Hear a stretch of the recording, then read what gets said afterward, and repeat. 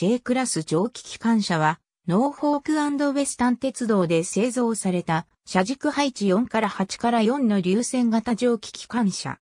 かつて自社車両工場であったロアノーク工場で、1941年から1950年にかけて計14両が製造され、1950年代後半まで旅客輸送を担当した。この機関車の特徴は、動輪直径が 1778mm と、アメリカの旅客用機関車として小さいながらも、10平方メートルの巨大な過失と19.3気圧の高圧力に加え、ペンシルベニア鉄道の T1 を超える太さのボイラーを持っていた。また、全車輪やロッドやクランクッピンはもちろん、ベルに至るまでの箇所に、コロ軸受けを全面的に取り入れている。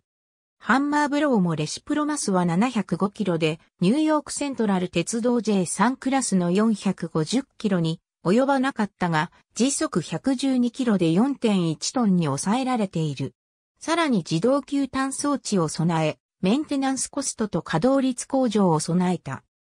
第二次世界大戦時のアメリカでは旅客用の機関車の製造は許可されてなかったが、この機関車は動輪径が小さかったため、流線型カバーなしと車輪だけ、コロ軸受けという条件で貨物用に6両製造された。大戦後、全機にコロ軸受けと流線型のカバーが取り付けられた。J クラスはノーフォークシンシナティ間の旅客列車、ポウハタンアロー等の旅客列車を牽引した。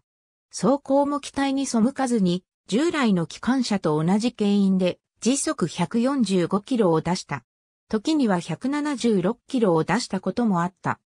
その時の動輪回転数は、蒸気機関車の限界回転とされる400回転前後を超える530回転から540回転あった。またテストで、ペンシルバニア鉄道にも貸し出されて、フォト永遠の115キロを15両の列車を時速176キロで引いた。信頼性も高く1年半の工場での検査で総走行距離数は30万キロから36万キロと日本の3倍以上であった。1950年代後半になるとディーゼル機関車の導入に伴い旅客運用から徐々に離脱し、晩年は数量が貨物運用に使用された。現在、ナンバー611が保存されている。ありがとうございます。